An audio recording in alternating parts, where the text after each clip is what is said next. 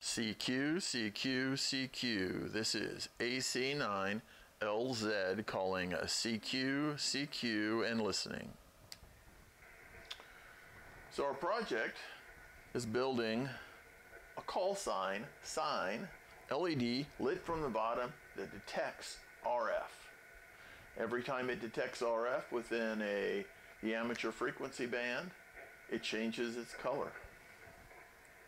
CQ, CQ, CQ. This is AC9LZ calling CQ and listening.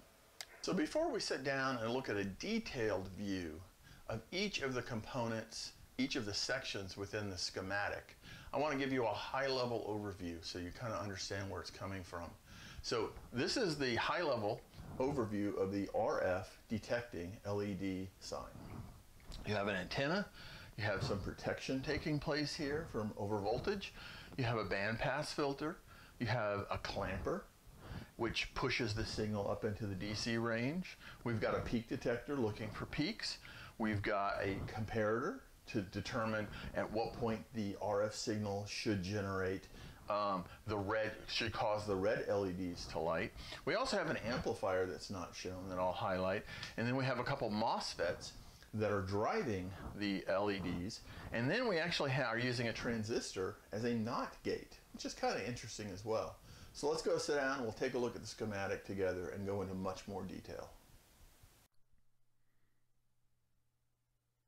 I failed to mention, this is actually going to be a two-part series. The first part, I'm going to go over all of the schematics and the SVG files for the laser cutter and all that. And then in part two, we'll actually build one, use the laser cutter, all that fun stuff. So let's take a look at the schematic here. Um, I'm going to use a 5 volt wall wart. And uh, so I'm using this DC jack.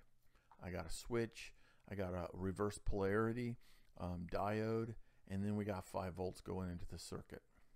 If we go down here, we've got an antenna, and that antenna obviously is to pick up the RF signal. So we're going to pick up this this most likely very faint, even if it's you're, you're set, sitting next to it. You know, you're going to be picking up an RF signal. Maybe it's not so faint, but that's why we actually have this power protection circuitry in here with these two Schottky diodes basically back to back. What we're doing is we're limiting the amount of power that can come into the circuit uh, via the voltage drops across these Schottky resistors. So that'll be the maximum that'll actually be able to get through. Um, you notice that I have a number of test points available throughout uh, the design.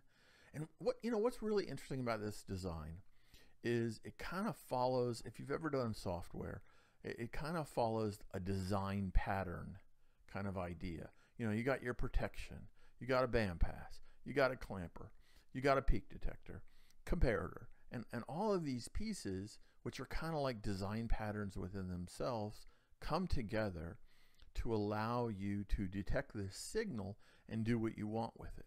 So, so with that, let's continue. I did a quick tip on the rf-tools.com uh, site and that site allows you to design different types of filters high pass, low pass, band pass. And in the case of this circuit, I, I wanted a band pass filter for 1 to 200 megahertz. And that's what this does. It, it excuse me, it attenuates, attenuates um, any signal not within that range and allows uh, the signal within that range to pass.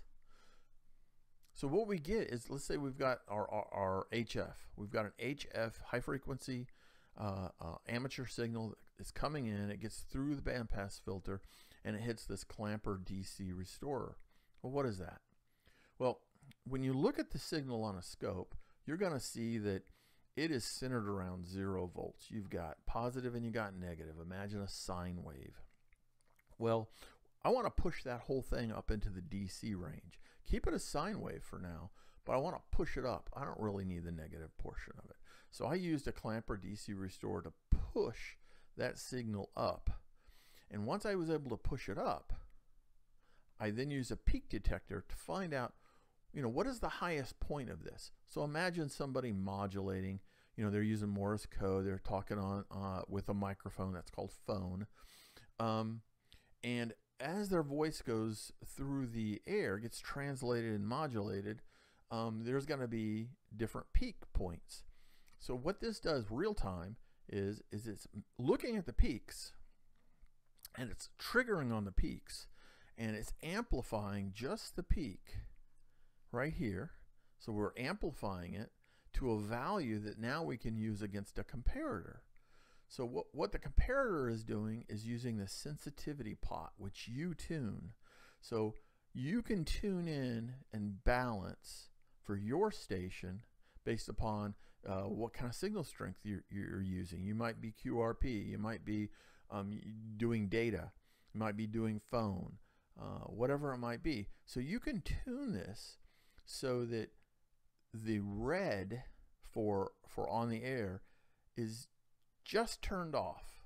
White, what you know, right there at that at that point where white is on, and if you were to turn it a little more, the red would come on. And now you have found, as you key up, you're now going to start to see that you are uh, causing the red lights to come on. You're basically in the on the air mode, and that's what this is doing is comparing those voltages after the amplification.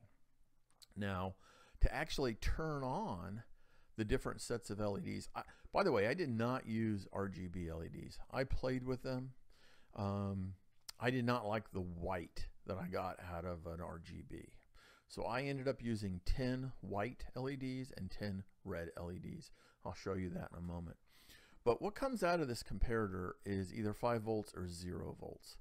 If it's 5 volts, it looks like we're on the air. So the 5 volts hits this MOSFET and the MOSFET basically turns on and the red LEDs come on. Now if it's zero volts, obviously that's not going to turn on. So how in the world do we get the white ones on?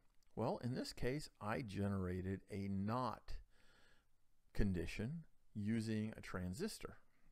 So when we see 5 volts here because we're on the air, what you'll get here is the transistor will turn on, will sink 5 volts, and this line will be high. No, this line will be low, excuse me. 5 volts here causes this to sink to ground, pulls it to ground, and this will not turn on. Now, when it goes to 0 volts, 0 volts comes in, turns this off. The 5 volts now drives the MOSFET and turns turns on the white LEDs. So what you've got is a not condition. 5 volts on the air, 0 volts off the air. The 0 causes 5 volts to appear on this line right here. Now you could have done this a number of ways like with an inverter, hex inverter, NOT gate, you know, that kind of stuff. But remember, all of those are actually created with transistors. That's what the, is in those IC packages. So I thought it would be kind of cool just to use a transistor to do it. Now, if we look here, we actually have a connector, and that connector, and I'll show you why in a moment, uh, connects to this strip of LEDs. And this strip of LEDs is both the white and the red alternating in color. So if we now go over and take a look at the PCB design, maybe, you'll see what I've done. The PCB is laid out in such a way that when you get it printed, you get it home, you cut along this line here. So you end up with this PCB up here, and that's for all of the um, LEDs along with their uh, current limiting resistors. And I'll show you how that works. But basically the the uh, the LEDs are on top and they are alternating. The resistors are on the bottom, and then you have a connector. So once you've cut this out, now you, this is the bottom part of the board down here. You've got your BNC connector, you attach your antenna to it, and then basically you've got all your test points. You got your power protection, and I've tried to you know label it so you can actually see how all of the pieces work. So that, that's the circuit. That's really all there is to it. Now, I said, I believe I said something about the timing. Currently, I did not design this. This is real time. This is looking at the signal real time. So it, it, it, so let's say you're keying up and calling CQ, like in the beginning of the video. Well, you can see it turn to white as I pause between words. So it's picking up the peak, but then loses the peak because of my pause. So you could add um, a timer in here to hold that signal higher. Now, when I say timer, everyone's minds go to like a 555. That's not how I would do that. I would do it with a simple RC timing circuit. So if you put an RC timing circuit in here to hold the line at whatever it is for longer, then you could give yourself a couple seconds between the pauses.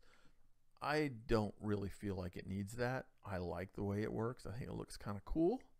Um, but I give these schematics away you, and the PCB design, all the documents. You can do whatever you want with it. You can have a great time.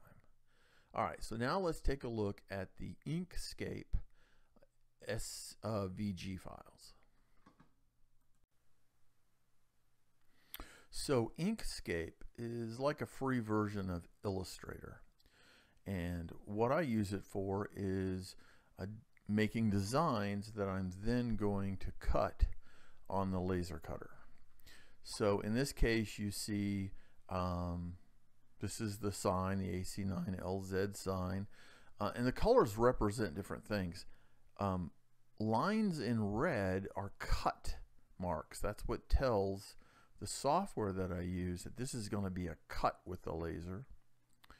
Um, items in black, which this doesn't have any, are raster engravings. And then lines in blue are vector engravings.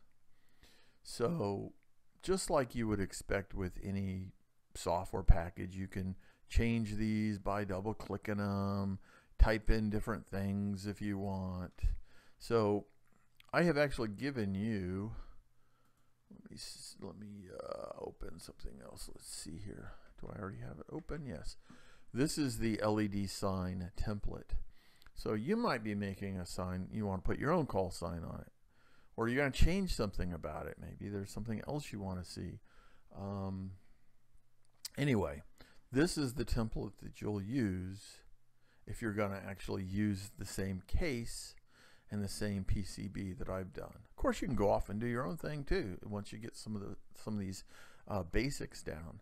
So anyway, that's the template. And then if we go and we take a look at the case, so there, there's a there's a case at the bottom that has the PCB in it and the LCDs. And that is actually created with an online tool that allows you to create a box. So if we look at this, let's see, each of these is their own piece because they had to be sent to the um, laser cutter. So this is the top of the box. Um, this is the uh, three millimeter slit. I think it's 150 by three millimeters that you slide the acrylic into. So this is being done with three millimeter thick acrylic. In case in the case of the box, I'm using black three millimeter acrylic. And again, remember, red represents things that are going to be cut. So this will be cut out into a piece. If we go back and take a look, we've got, so we've got the top, here's the back of the box. The back of the box has cutouts for controls. So this would be power. This is uh, the sensitivity pot. This is power. Uh, I'm sorry. This is the power button. This is the um, power jack, and this is the BNC connector. So this is the back of the box. And I'll show you one more just for the fun of it. I mean, you get the idea. These these fit together. Um, let's see here. In cap. I'll show you one more after that. That's kind of important and it'll make more sense when we go put it together. So this is one of the end caps. You have two end caps. And then we also have this piece called a blinder. And the way that works is it's just a piece of acrylic. It's just a square or rectangular piece of acrylic. And what it does is when you take the top, so imagine that this is the inside of the box top. You take that acrylic, uh, the LED blinders, and you basically glue one here and one here. And then the LED PCB fits on top. So what you've done is you've created a little blinders. You've created a blinder on the left and the right, and then the, the LED PCB sits on top and gets hot glued in place. That way, you're directing all of the illumination, all of the lighting up through um, the slit. So it doesn't, you're not lighting the inside of your PCB. So anyway, that's pretty much it for this project. Um, at least this part of the series of the project. Um, in the next part, we'll actually cut some of the pieces out. I'll show you how we put them together. Uh, we'll put together a PCB. We'll go ahead and laser cut out um, another sign and uh, see how it all comes together. So if you have any questions between uh, uh releases of the, of the videos, feel free to ask some questions. I try to respond to all questions that are posted on YouTube. So anyway, thanks. Uh, remember, learn something new every day.